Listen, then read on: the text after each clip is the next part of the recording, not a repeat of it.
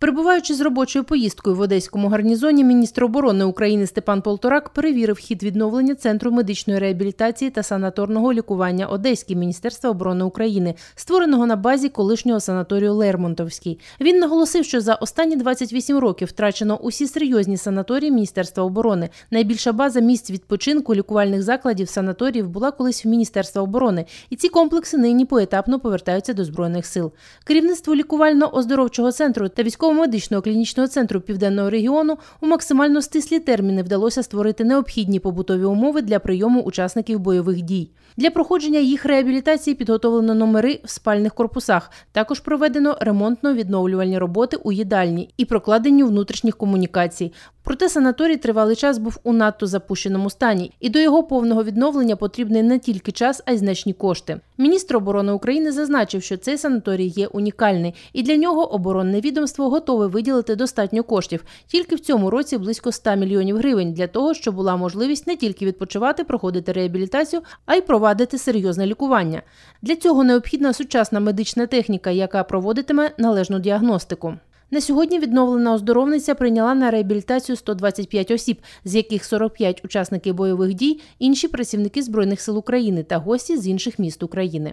Да, ще не так е, стильно, але спасіба людям, що його не продали, що його забрали, що спеціально зробили для військовослужбовців, щоб вони віддихали тут, могли підлікуватися, хай не стісняються, їдуть, бо Серед перших пацієнтів центру військовослужбовці із зони проведення ООС, що зазнали поранень і навіть перенесли виснажливі операції та пройшли відповідне лікування у військових шпиталях. Утім, тільки цього для повного одужання і відновлення функцій організму недостатньо. Таким пацієнтам потрібно пройти хоча б декілька курсів реабілітації. Можливості оздоровитися на потужностях центру військовослужбовці радіють. Служу в 138-й бригаді повітряних сил, прикомандірований до 39-ї 36-ї бригади морської піхоти міста Ніколаєва.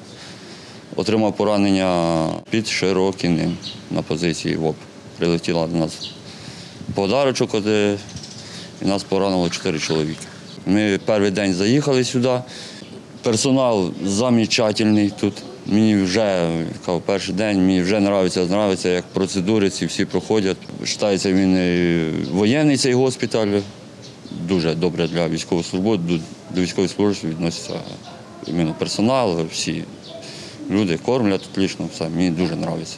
Міністр оборони поспілкувався з лікарями та персоналом оздоровчого центру, а також військовослужбовцями, які зараз проходять в ньому лікування та реабілітацію. Глава вітчизняного оборонного відомства подякував бійцям за службу та нагородив військовослужбовців з числа учасників ООС відомчими відзнаками та грошовими преміями. Крім того, нагороди та подяки за проведену роботу та інформаційне забезпечення отримали начальник центру медичної реабілітації та санаторного лікування Одеське міністерство оборони України Ілля Лубашев та кореспондент телерадіостудії Міністерства оборони Бри Олена Кудряшова.